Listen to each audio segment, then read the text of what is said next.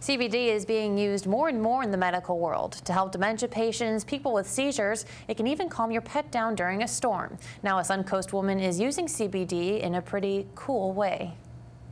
Susan Shear is an oncology nurse who says tragedy struck in her family last year. My husband passed away unexpectedly on the 27th of September. Then at a networking event, she met Matt Eastman, the owner of Lickety Splits Ice Cream. His wife was a pediatric oncology nurse at one point, and we started talking about cancer patients and I said, Can you make me an ice cream that's high in fat and high in protein for my cancer patients? And then asked another question What do you think about adding cannabis? That's how Heavenly Hash Creamery was born. I thought Heaven, my husband, Heavenly Hash Creamery. The ice cream comes with a 20, 40, or 60 milligram serving of hemp derived CBD.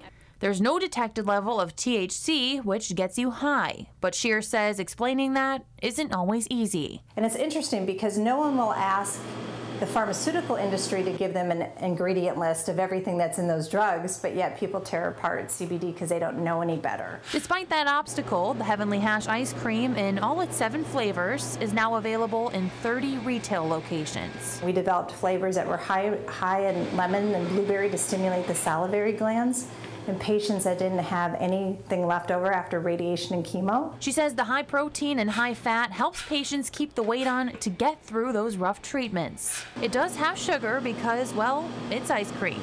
But Shear says the CBD lowers blood sugar levels. It's an anti-inflammatory. It rebuilds the mitochondria and cells, so it actually helps with cell growth.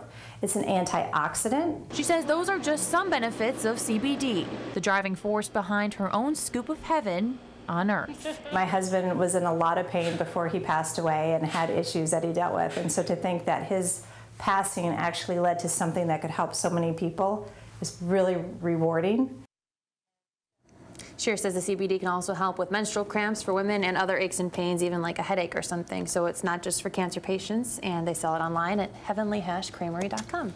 It's crazy. 2018, it's impressive what we're able to do, and that's good stuff right there. Yeah, I mean, I think from conception in February to June, that's how long it took them to get in stores. So like from the first time she had the idea, it was only a few months. Moved pretty quick. Yeah, it moved pretty quick. I mean, it's popular, but on this, you know, at the same time, you have people who, you know, don't, don't understand CBD and think that the ice cream makes you high and, yeah. you know, just all that kind of stuff.